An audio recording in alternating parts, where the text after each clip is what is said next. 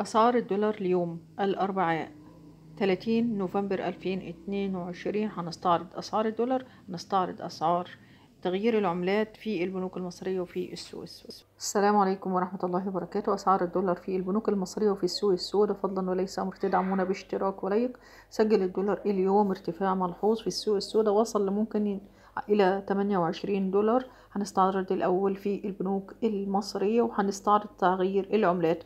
مصرف أبو ظبي وبنك الاستثمار والبنك المصري الخليجي 24 جنيه فاصلة 58 قرش.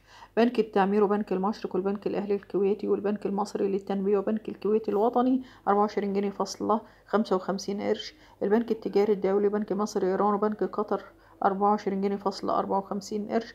بالبنك المركزي المصري 24 جنيه فاصلة 53 قرش بنك الإسكندرية والبنك الأهلي المتحد وبنك القاهرة والبنك العربي الأفريقي 24 جنيه فاصلة 52 قرش بنك إتش 24 جنيه فاصلة 51 قرش البنك الأهلي المصري وبنك مصر وبنك البركة وبنك قناة السويس وبنك كريدي وبنك بلوم وبالمصرف المتحد وبنك السيب 24 جنيه فاصلة وخمسين قرش.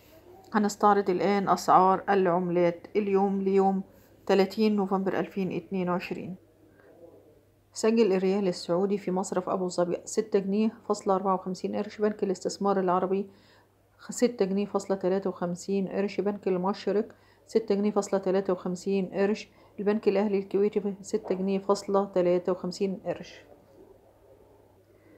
سجل الدينار الكويتي اليوم. بنك قطر الوطني تسعة وسبعين جنيه فاصلة أربعة وستين قرش. بنك قناة السويس تسعة وسبعين جنيه فاصلة أربعة وستين قرش. طبعا تخطى التمانين جنيه في السوق السوداء.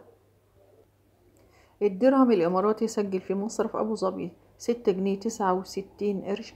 البنك المصري الخليجي بنك المشرق وبنك الاستثمار ستة جنيه فاصلة تمانية وستين قرش. هنستعرض أسعار الدولار في السوق السوداء. شراء ستة وعشرين جنيه فاصلة تسعة وخمسين قرش وبيع سبعة وعشرين جنيه فاصلة تلاتاشر قرش. الدولار يقترب من تمانية وعشرين. بشكركم والسلام عليكم ورحمة الله وبركاته.